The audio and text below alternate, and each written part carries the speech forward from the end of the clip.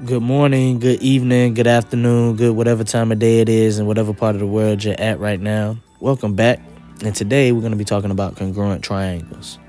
So, number one thing to really uh, concern yourself with with congruent triangles is the the order in which the letters appear, and then what I would call stacking the the angles, the names of the triangles on top of each other, so that way you can see which parts of the um, triangle of each triangle correspond to the other triangle. So, for example, number 10 says if triangle PQR is congruent to triangle WXY, find each value. So, what I mean, what I was saying earlier by stacking, this is what I was talking about. Oops. All right, so it's stacking. This is what I was referring to.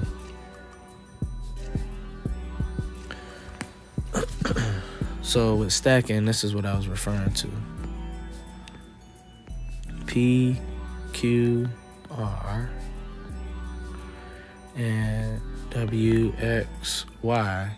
Now, when we do these, when we fill, when we try to figure out A through F, I'm just gonna use a highlighter and do this like PQ is the same as WX. So P PQ is the same as WX. So that's 7.3. Oh, excuse me, 7.7. Next, and I'm gonna just go ahead and erase those markings, and now I can go ahead and take a look at the next one, WY or YW. YW is the same as PR. So YW is the same as PR, which is, or RP, excuse me, which is 15.4. So 15.4. All right. Then we have, and let me go ahead and erase those markings. And now we're going to take a look at XY. Oops, didn't mean to do that. So XY is the same as QR X, Y, Q, R. So that's 17. D, letter choice D says angle Y. Well, I mean, angle Y is the same as angle R. Angle Y is the same as angle R. Well, angle R is 27 degrees, so Y is 27 degrees. Okay. Um, next is angle Q. Angle Q, let me undo that. Angle Q is the same as angle X. So angle Q and angle X. Angle Q is going to be 65 because angle X is 65 degrees. And remember, these triangles are congruent. For congruent triangles, everything that I'm displaying right now works for any set of congruent triangles. The matching in the pairs, all the way down to the angles. Because these over here that we're working on right now, these are the angles. Okay, and the first set that we did were the sides. And the last one, angle W is the same as angle P. Angle W is the same as angle P. So it's 88 degrees. All right, so that's a basic understanding of triangle congruency or congruent triangles. Now, number 11 is going to expand on this a little bit. We're going to have to do a little bit of more work. So number 11 says if angle JKL, I mean, excuse me, if triangle JKL is congruent to triangle MNP, find angle M. Well, let's go ahead and write out our letters again. So we'll do, what's this? J, K, L, and M, N, and P.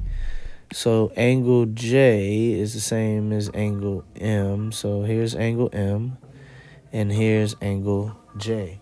Now, as we can see, and I'm going to rewrite this a little bit because that didn't really look like a J. There we go. J, K, L. All right. So, being that J and M, we don't have any type of expression or angle measure there, we have to start somewhere else with our diagram. And um, if we look, angle K and angle N both have expressions, but let's see if they are they're congruent. Angle K, angle N, so they are because they match up. Okay, they are congruent.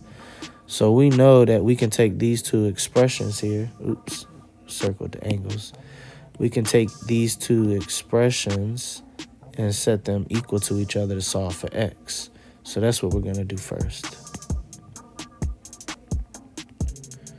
That's too big.